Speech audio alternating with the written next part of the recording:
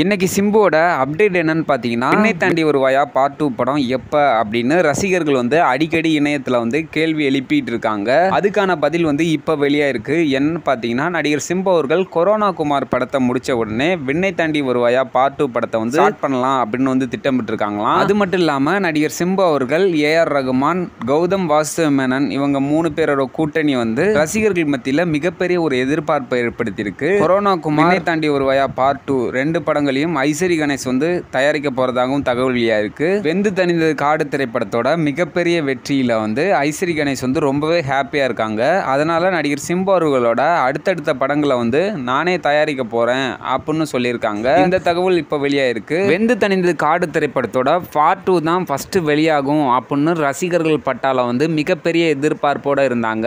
ஆனா இப்போ கொரோனா குமார் விண்ணை தாண்டி வருவாயா பார்ட் டூ அடுத்தடுத்த படங்களோட அப்டேட் வந்து வெளியாகி இந்த ரெண்டு படங்கள் தான் ஃபர்ஸ்ட் முடிக்க போறாங்க அப்படிங்கிற மாதிரி சொல்லியிருக்காங்க. ஆனா இதுக்கான அதிகாரப்பூர்வமான தகவல் வந்து இன்னும் வெளியாகல அப்படின்னு சொல்லியிருக்காங்க. ஆனா கூடிய சீக்கிரமே இதுக்கான அதிகாரப்பூர்வமான தகவல் வெளியாகும் அப்படின்னு சொல்லியிருக்காங்க. ஸோ இப்போ இந்த நியூஸ் வந்து சோசியல் மீடியாவில் பயங்கரமாக ட்ராவல் ஆகிக்கிட்டு இருக்கு. ஸோ மீண்டும் ஒரு சிம்பு அப்டேட்டோட உங்களை சந்திக்கிறேன். ஓகே பாய் உங்கள் சிஜி